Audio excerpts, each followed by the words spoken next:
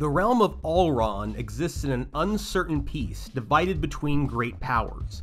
Part of the land is controlled by Galdea, a technologically advanced empire, while the rest is divided between a collection of allied kingdoms known as the League. Nowa, a boy from an isolated village, is assigned to a joint expedition with the Galdeans. He meets Seign, a young Imperial officer who is friendly, but also warns him that one day they will have to cross swords. Sadly for both of them, this prediction will come to pass sooner rather than later, as the discovery of a new artifact and a sinister plot draws Allraan ever closer to war. Eiyuden Chronicle is massive. That's the one word you will hear used to describe this game because it is apparent from the very start.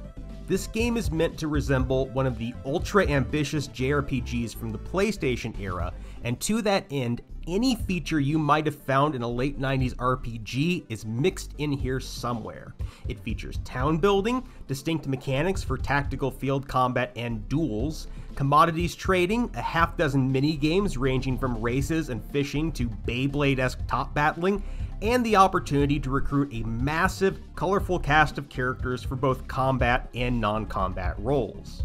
But let's not fixate on the side content so much that we miss the essentials. This is a JRPG at its heart, featuring turn based combat with up to six active and one supporting party member at a time.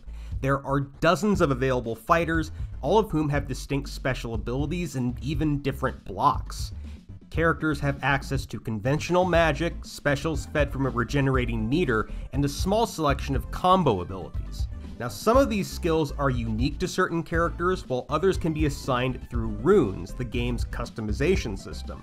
And for those who prefer auto battlers, Eiyuden Chronicle also features a robust auto combat setup that is fully customizable for each individual character.